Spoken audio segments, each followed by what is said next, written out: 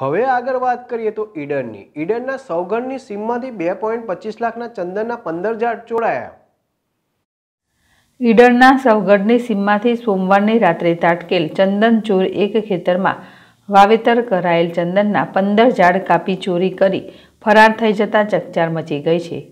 બજાર ભાવ પ્રમાણે આ ઝાડની કિંમત બે પોઈન્ટ પચાસ લાખ જેટલી થાય છે.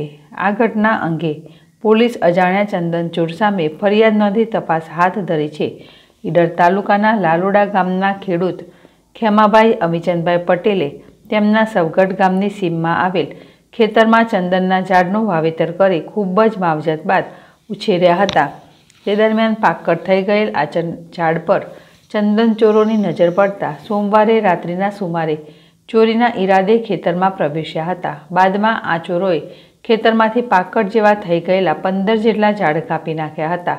આ કપાયેલ ઝાડ પૈકી ચાલીસ એક ફૂટ કેટલી સુગંધીદાર લાકડું કાઢી કોઈ વાહનમાં ભરી ફરાર થઈ ગયા હતા. આ ઘટના અંગે સવારે ખેડૂતને જાણ થતાં ખેડૂતે પોલીસ મથકે જઈ એક ઝાડના પંદર હજાર લેખે કુલ બે પોઈન્ટ પચીસ હજારની ચોરી થવાની ફરિયાદ નોંધાવી હતી. પોલીસે અજાણ્યા ચંદન ચોર સામે ફરિયાદ નોંધી તેઓને ઝડપી પાડવા કવાયત હાથ ધરી છે. ઉલ્લેખનીય છે કે સૌગઢ તથા લાલોડાની સીમમાંથી અગાઉ પણ અસંખ્ય વાર ચંદન ચોરોની ઘટનાઓ ઘટી હોવા છતાં સ્થાનિક તંત્રના હાથ ચંદન ચોર સુધી પહોંચવામાં ટૂંકા પડી રહ્યા છે.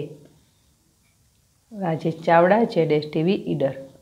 પાસ સગવડ રોડ પર મારા ખેતર આવેલું છે. તે ખેતરમાં મારે સાતસો રૂપિયા મેં વાવેલા છે. સાતસો રૂપિયામાંની મારા ચંદનના ચંદન ચોરો પંદર રૂપિયા કાપી ગયા છે. અને બે હજાર સત્તરમાં મારા અગિયાર ડોકા કાપ્યા હતા. અને આ વખત કાપ્યું છે અમે ઓણાથી કંટાળેલા છીએ. પોલીસમાં એ પહેલાં વખતે એફઆર ફરાઈ હતી, આ વખતે એફઆર ફરાઈ છે.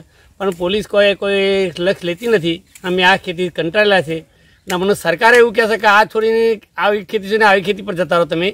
પણ કોઈ સરકાર કે કોઈ લક્ષ લેતી નથી એટલે અમે એનાથી અમે કંટાળી જાય છે અને મોડમાં ઉછેરી ઉછીને આટલા ડોકા મોટા કરેલા છે મારા અને તે તો આ ચંદન ચોરો આ કાપીને જતા રહેશે